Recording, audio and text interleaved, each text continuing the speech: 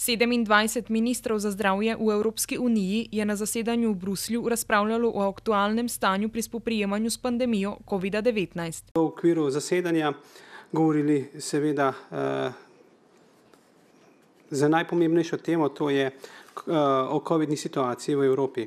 In v času, ko se soočamo s porastom eh, okužb in pa četrtim valom epidemije, ko se pritisk na bolnišnice in pa bolnišnično osebje stopnjuje, po drugi strani pa imamo tudi pred vrati novo različico koronavirusa oziroma ta že vstopa skozi naša vrata, tako imenovan omikron. V tem času je še toliko bolj pomembno, da države članice ukrepajo hitro in se usklajeno odzivajo. Dokler pridobivanje informacij o novi različici virusa še traja, se moramo vesti skrajno previdno.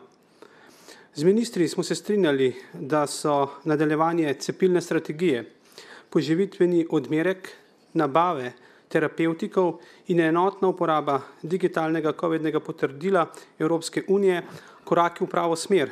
Ministri so ob tem podprli skupno naročanje terapevtikov za zdravljenje bolnikov obolelih s COVID-19, kot tudi enotno veljavnost COVID-nega potrdila. Prav tako smo podprli nujnost sprejetja enotne veljavnosti digitalnega COVID-nega potrdila, katerega predlog eh, se pričakuje v tem mesecu. Med spopadanjem z epidemijo pa še vedno obstajajo tudi druga obolenja, ki tudi predstavljajo tveganje za življenje. Evropska komisija je tako predstavila napredek pri načrtu boja proti raku, ter uh, ta načrt uh, predstavlja kot eden ključnih stebrov Evropske zdravstvene unije, na kar smo upozorili tudi v sklepih sveta, uh, ki so bili danes sprejeti. O obveznem cepljenju proti COVID-19 ministri na zasedanju niso razpravljali.